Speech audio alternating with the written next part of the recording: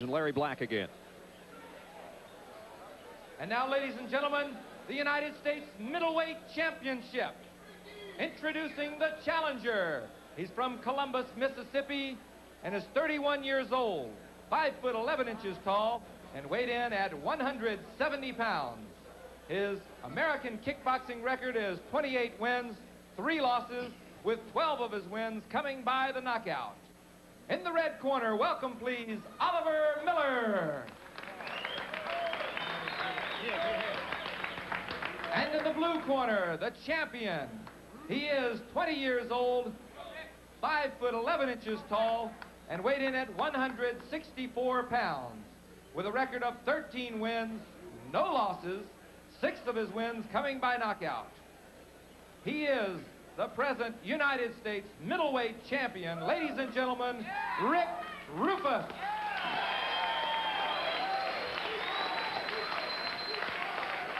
This middleweight United States Championship is scheduled for nine rounds. Nine rounds in the middleweights tonight, and as the two fighters go to ring center, you see Oliver Miller from Columbus, Mississippi, Rick the Jet Roufus from Milwaukee. If you've never seen this kid fight, you're in for a treat. Believe me, 13 0, six wins by knockout. He's been in the sport a long, long time as Bill Clark gives them their final instruction. This one should be a beauty, Truman. You're you're exactly right. You know, uh, earlier uh, I have I said that uh, Rick Roufus could be one of the finest uh, athletes in this sport. Scheduled for nine rounds. U.S. middleweight title on the line, and here we go. Rick Roufus fighting from the southpaw stance. And he goes up with the side kicks and works his way around the ring. Just Rick, underway in round one. Rick the Jet Roufus has some of the finest movement uh, that I've ever seen in a ring. Uh, he is a master of the ring. He has he, he's unorthodox in as much as he can go either way, any way, at any time.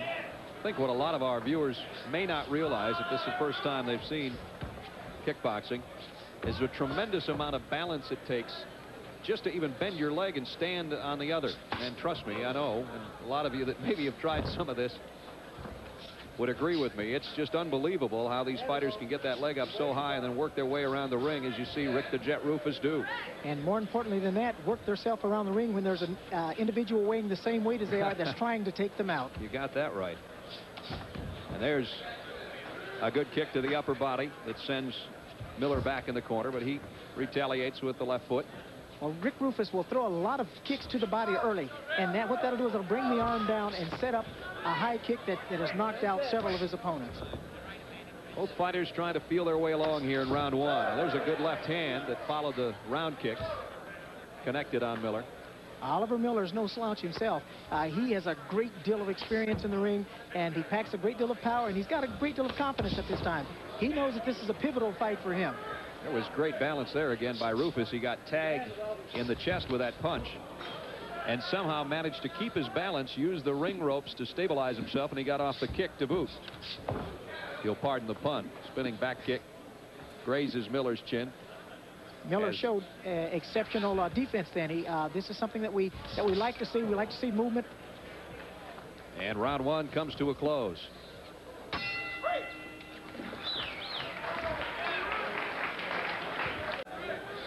Brad Nessler, Truman Irving, and Joe Corley ringside here in Atlanta. The nine-round middleweight bout into round two. Rick the Jet Roufus, the U.S. champion against Oliver Miller. That's Oliver Big O Miller. The Big O. I think they call him Big O because he's taken out a lot of his fighters in his uh, 31 uh, in his 28 and 3 uh, record with that big overhand right. Roufus seems at this point to respect at least the experience of Miller, if not the punching power. He's been a little more cautious than I've seen him in some previous fights. Well, Oliver Miller has, has demonstrated in previous fights, and I'm sure Rick uh, the Jet Roufus has viewed some of the tapes, but in his previous fights, uh, he has shown that he has power, that he has quickness, and that he certainly has a, an ample defense, which he's shown here because Rick has landed a lot of punches early on a lot of his opponents, something he has not done uh, in this fight. What about the fistic facts, Joe? How are they adding up so far? Well, you see the kind of force that Roufus has had in his front leg side kick measured by Saba. He had 368 pounds in each one of his side kicks. And when you deliver that to the body at the weight of these guys, that's what's causing Oliver Miller to be driven back. Roufus unbeaten at 13 and 0. That back leg roundhouse kick of Roufus packs 450 pounds of force. The one that just skimmed off Oliver Miller's nose. I was going to say it got about 270 pounds worth in Miller's midsection, maybe. That's the same uh, back leg round kick that knocked out his last opponent, Tony Smith. Now both fighters getting a little more active here in round two. Round one relatively even. Round two starting to wind down. Under 13 seconds as you see it in the corner of your screen. You still see a lot of movement out of these fighters, and if you get a lot of movement, uh, it's going to be very, very difficult for them to land uh, successful shots. Good combination by Miller as the bell sounds to end round two. And we follow Rick the Jet Roufus back to his corner. There was a lot of was a lot of uh, action from Oliver Miller. Take a look at some of the action near the end of round two. Again, Oliver Miller did put forth some effort here, except the exceptional movement by Rick the Jet Roufus, and we'll see this coming up. The exceptional movement, most of the and that's what I like about Rick the Jet and some of these other fighters, that when they have that good movement, it's very difficult to land uh, clean shots. There's another angle. You see Roufus getting a little tangled up coming in with that left round kick, and Miller tried to follow, but as Truman mentioned, a good defensive job by Roufus. That's a lot of people don't realize as important as the offense because you don't want to get tagged and you'll find yourself uh, not being able to use your offense very effectively. You're absolutely true. Both of these fighters are mobile. Both of them have a great deal of fluidity in their movement. And uh, as a result, we've seen a very competitive fight at this point. And a very close fight through two rounds. We head into round three. Rick Roufus has a lot of followers in this sport. As we mentioned, the profile on him earlier, he's been at it since he was five years old. 14 years of karate and kickboxing. And here defending his U.S. crown tonight in Atlanta.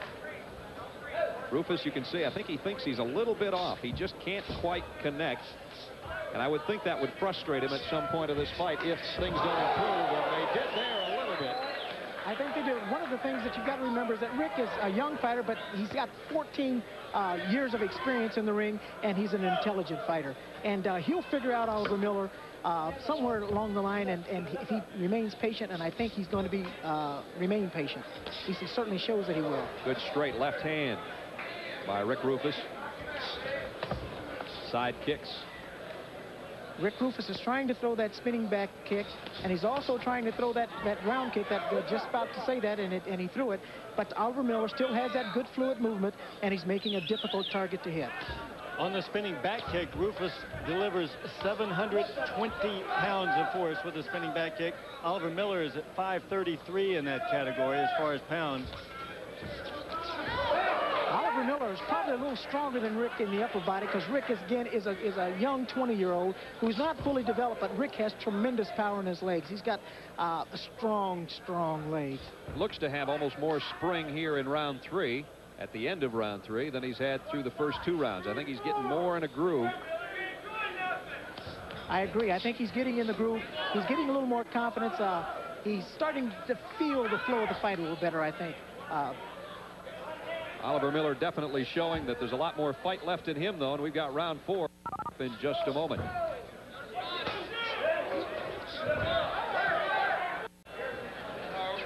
Brad Nessler, Truman Irving, Joe Corley back at the limelight in Atlanta, Georgia.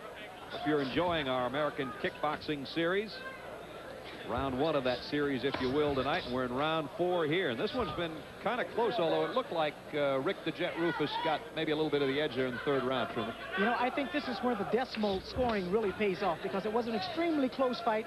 And had it not been for the fact that uh, there is decimal scoring, you might have to score that an even round. But if you can just take uh, two-tenths of a point off, then you can give that uh, edge to one fighter or the other. And that round, I'd give that edge to Rick the Jet Roufus. Decimal system basically is a fine tooth comb process of, oh, there's a big left hand, and finally Miller backs up. Fine tuning by the judges is what that'll be about at the end of this fight if it goes the scheduled nine rounds. It very well may come into play. You know, we've talked about Rick the Jet, and, we, and as well as he deserves it because he is the U.S. champion and he's undefeated. But Oliver, Oliver Miller is quite a puncher and quite a kicker in his own right, as well as we've seen his defensive skills. You know, he's a guy that says he wants a piece of Bob Thunder Thurman. He has to settle for Rick Roufus here tonight. You know, that's, that's, uh, I cringe when I hear that statement uh, because it's like saying, I'd rather wrestle with this alligator instead of uh, dance with this crocodile. and he's got a crocodile in Rick the Jet Roufus. That he a does. 20-year-old crocodile. Action in round four. Again, Miller 28 and 3. He's 112 by knockout. As we've said, Rick Roufus unbeaten 13 and 0. The middleweight champion, U.S. middleweight champion. I think that uh, Oliver Miller is going to have to be more active. He still has that good movement, but he's not throwing enough uh, enough at Rick Roufus to uh, stop Rick from, from, from throwing his techniques. Big flurry here as we come to the close of round four, and round five may indeed tell more of the story of this fight, and we'll have it coming up shortly. It's excellent defense once again by both fighters. There was a flurry, but very few shots landed. Well, we're approaching the midway point of this one. We head into round five. It's scheduled for nine. Rick Roufus unbeaten. U.S. middleweight champion. His opponent, Oliver Miller, the Mid-South champion and the East Coast champion as well. And trying for a little bigger game tonight. U.S. middleweight belt. Brad, we're seeing two accomplished fighters here. What a, what a shot landed by Ricky the Jet Roufus there. Tremendous left hook, Joe. Yes, that's right. 433 pounds Rick Roufus carries in that left hook to 398 of Oliver Miller's. As I was saying earlier, you're seeing two very accomplished uh, uh, uh, fighters here. Both of these men were spawned from the, uh, the amateur ranks of sport karate, the point karate, and they show exceptional kicking techniques as well as exceptional hand techniques, and it's something to be admired in both of these young men. That right hand of Oliver Miller that landed then is the first hard one he's thrown. I should mention that when we were doing the Saba testing yesterday, he was hesitant to throw it into the bag, so we didn't have a measurement on it because he did have a sore right hand. And he just nailed Roufus in the middle of the head with it. I wonder if that could have injured it further if he'll keep using it. We'll keep our eye on that one as we go through round five. There came the right hand again. It missed. Again, it's excellent movement by both fighters. Uh, this is a defensive fight as well as an offensive one, and uh, it's a pleasure to watch two great athletes like this. Rick Roufus, again, 12 years, 11 years, the junior of Oliver Miller. And I would think over the long haul that may start to show, but so far Miller looks very fresh as well. We start to close down, and there's a spinning back fist that connected on the right side of Miller's head, although he says, nope, I got the glove on it. I think he did partially block that. Again, he showed he showed excellent movement, and he got that right hand up to block that or partially deflect it. It'll look good to the judges, though, and that might affect the scoring. There's the end of round five, and we keep it right here and follow Oliver Miller back to his corner. Again, Rick Roufus appeared to be the most effective kicker in that round, and uh, that will affect the scoring in the event that this is an otherwise even round. You know, on October the 18th, Brad, Oliver Miller is going to fight for a North American title in the light middleweight division down in his hometown of Columbus, Mississippi. And uh, I know he's very much looking forward to that. Ironically, he's fighting as a middleweight tonight where he'd really like to be a light middleweight. And uh, Rick Roufus, who's a middleweight champion, fights as a light middleweight tonight. Look at the power in that left hook. I think what saved Here's a great angle of the spinning back fist. I think what saved uh, what saved Miller on that left hook was it landed high and the spinning back fist, of, of course, caught him on the glove. It did catch him on the glove, Truman. He was right. I thought maybe that one connected. It happened so fast, but he waved his right hand and said, no, I'm all right. Well, that's the advantage of being a referee. You're, you're supposed to watch those kind of things. The spinning back fist is probably one of the most dangerous weapons in karate. And one of the reasons it's dangerous is because you're, you're, you're getting that centrifugal force going when you make that spin. And not only that, but you're leaving your, person, your, your opponent exposed to your elbows in the event that he steps in. There's a good straight left. Speaking of step in, uh, Rick Roufus did step in with that straight left. We're in round six, scheduled nine rounder. There's a good left hand. First, maybe good combination by Miller of the fight. A left followed by a right hand. Roufus comes right back with that right foot and keeps it right up in Miller's face. Rick Roufus sometimes gets lazy with his uh, with his right hand. He's a left-handed uh, he's a left-handed fighter, uh, left-footed fighter anyway, and he gets lazy with that right hand, and that right hand falls a bit. And if it falls, that left he's, he's, he's, he's open for that left hook. Looked like Nureyev there coming across the ring, didn't he? He is a capable kicker. Really warming up here with his kicks in this round. Throws a combination and follows with a round kick that missed. Intelligence and mindset. And mindset of the corner and the fighter will play a big role at the, at the, as this fight continues. Both fighters feel that they could do more, and both fighters will press. The fighter that stays the coolest and the most calm will probably prevail.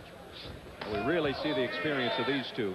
And as we said, Miller, the older of the two fighters, but Roufus has been in the sport a long, long time, and you just watch their eyes, and these are these are cagey veterans, boy. They are not giving up much defensively. Defensively, rather, they're doing a great job and not trying to give the other an offensive opportunity. Well, I've watched Oliver Miller and Rick Roufus for quite some years now, quite, uh, quite a number of years, that is. Oliver Miller was a young uh, teenager uh, winning point tournaments around the country. Rick Roufus started as a five or six-year-old. He entered tournaments in seven up in the north, uh, the Northwest uh, in the Minneapolis area, Milwaukee area, Chicago area, and he's been at it ever since. You see the respect Ever the two fighters uh, show for each other there. They slap gloves at the end of that round. We go over to the corner of Rick Roufus. Rick Roufus has uh, Larry Carnahan uh, working in his corner, as well as Dan Magnus. Uh, you also see Rick Ru- Roufus's father, Pat Roufus, who is his trainer. He he's his karate trainer in that corner. Dan Magnus is an interesting story in his, himself. Is see his head there in the upper right screen. He actually went through open heart surgery, Brad, to continue his karate career. Several athletic commissions around the country have had to allow him to fight when he brings his uh, heart surgeon in from uh, uh, Walter Reed or one of the big hospitals in the Washington area to prove to them that his heart is stronger than it was before the operation. Open heart surgery to stay in the sport. That's just remarkable. That's another thing well governed by the PKC, Joe, is uh, the fact that the doctors are all here before the fights and all of that, and all these fighters are thoroughly tested. Before we get to the action, we might also say that Dan Max Magnus is the only, the only professional athlete ever to come back from open heart surgery. We're in round seven, scheduled for nine, and this one has the makings of maybe going the distance. We expected action, and we definitely have had a lot of that. And so far, neither fighter's been down, and neither fighter's been injured uh, to any degree. None whatsoever, and I, and I think the action is going to pick up here because both fighters, uh, especially I, I, I, I think the Oliver Miller corner uh, feels that they need to do a little more. Rick Roufus has, has, has been somewhat effective with his kicks and punches. Oliver Miller a little less effective, I think. You know, it's interesting uh, with Rick Roufus wanting to go down to light middleweight division. Both these guys want Bob Thurman. I would have to say that if Oliver Miller wants Bob Thurman, he'd have to develop quite a bit more strength as, of style as far as staying in there with that kind of power. Rick Roufus, I think, could be the kind of fighter that could give Bob Thurman a lot of trouble, Truman. I tend to agree with you, and I tend to agree with you for a couple of reasons. One, Rick Roufus is stronger than he appears, and not only that, he has that exceptional movement. Uh, Bob Thurman is a straight-in type of fighter who likes to pin you on the ropes. Rick Roufus will not allow that. He moves in and out, and then he may even go between your legs. That round kick connected, and you saw the sweat fly from Miller's head as he had to back up. There's a big right, uh, left hand rather, by Roufus. Oliver Miller, Oliver Miller is starting to press as I thought he might because he feels that he needs to do something, and that's setting it up for Rick Roufus. Rick Roufus is remaining cool, and I, and I think he's doing a good job. Miller continues the attack, but Rick Roufus has had the better of it. Now a good combination by Miller. That left hand definitely felt strongly by Rick Roufus. He comes back with a left uppercut of his own. I, Rick Roufus is answering uh, Oliver Miller's call.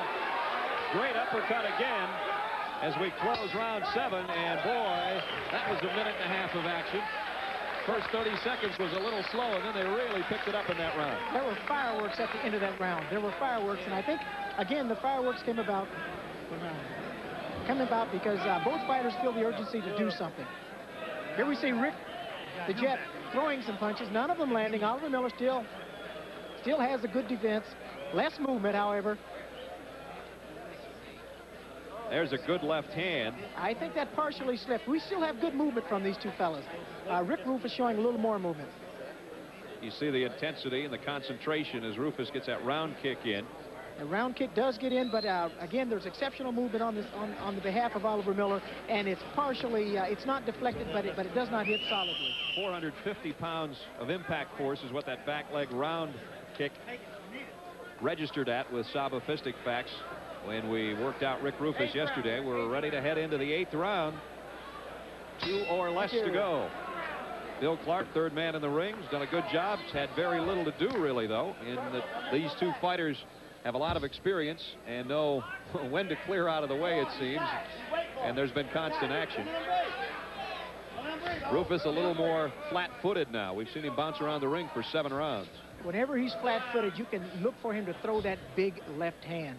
He throws it straight and he aims at the chin, uh, and he doesn't care if it lands in the face or the or the or the chest.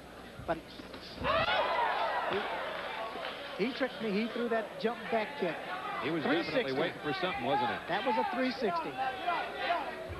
That's just amazing. He gets remarkable elevation off that, too. He was about three and a half feet off the canvas when he swung that leg around. Rick Roufus, unbeaten at 13 and 0. Oliver Miller, 28 and 3. 12 of his victories have been by knockout. The back leg is one of the most difficult kicks to throw with both legs well. I know I can only do mine with my right leg unless I'm dreaming, but Roufus kicks extremely well with both legs on the back kick, left leg and right leg. I was going to say, I think he did those in different directions, didn't he? Roufus not only kicks well with both legs, but Roufus comes at you from different angles. And it's very difficult to, uh, and, and I must add that Oliver Miller is doing a fine job of avoiding these kicks, but it's very difficult to stay out of the way of his kicks because he comes from so many angles. Oliver Miller has spent the better portion of eight rounds trying to cut the ring off on Rick Roufus, and Roufus with that constant side-to-side -side movement, and it doesn't seem to matter, as Truman said, which way he goes, has not allowed Miller to cut that ring off. There's that left hand. Uh, when he when he plants, he's going to throw that left hand uh, unless he switches up and throws something very flamboyant like that uh, 360. And we almost saw another jump back kick. He just ran out of room, or we would have seen it. And that ends round eight. Rick Roufus trying to hold on to the U.S. middleweight crown. He'll go to his corner for final instructions before the ninth and final round coming up. Way ahead.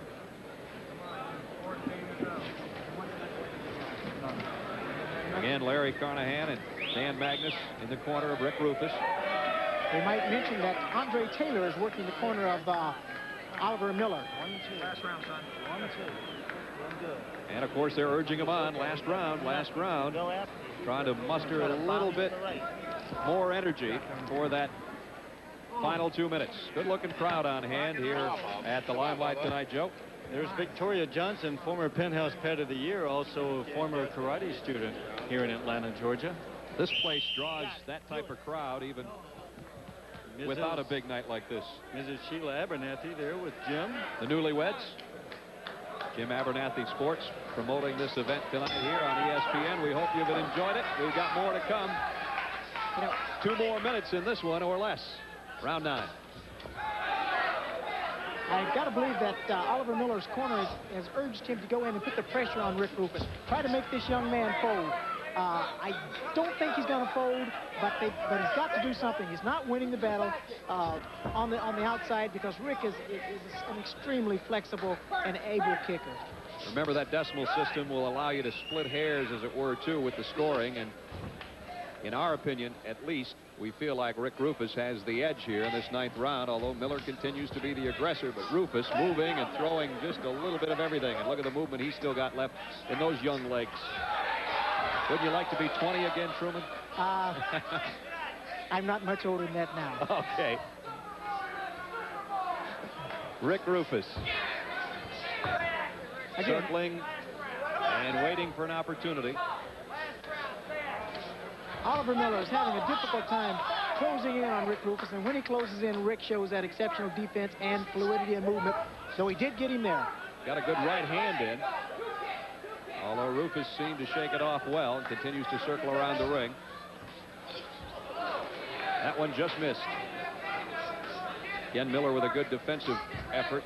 He's done a good job of shedding the punches and the kicks throughout this fight. He certainly has. Spinning back fist missed. Roufus followed it with a kick. Winding down here, ninth and final round. It's been an active Rick Roufus just threw a, a, a, a lead jab, something that we've not seen much of from either of these fighters tonight. And uh, that might be a telling story. If he could get that jab on track, either one of them, it might set something up. Well, it's not going to have time now. As we're coming to a close of this one, final five seconds. One of the few one of the few jabs that we saw, and it was an effective jab. Um, I think that both fighters needed to throw more jabs and take a little more time developing uh, what was happening. Well, we've seen nine rounds. We don't know at this time who won this one. Seems to be a relatively close bout. We're going to find out and get the official decision when we come back. We've got more PKC American Kickboxing coming up from Atlanta with a decision after this word.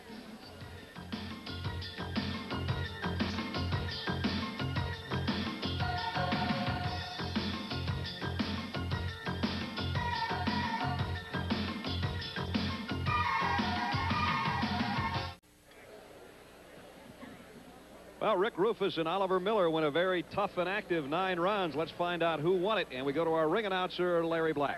Larry, Larry. Ladies and gentlemen, we have the decision. Remember, we're using the PKC decimal scoring system. Judge Chapman scores the fight 90-89. Judge Keeney scores the fight 90-87.2. Judge McLaughlin scores the fight 90-87.6. The winner by unanimous decision, the United States middleweight champ, Rick Roufus.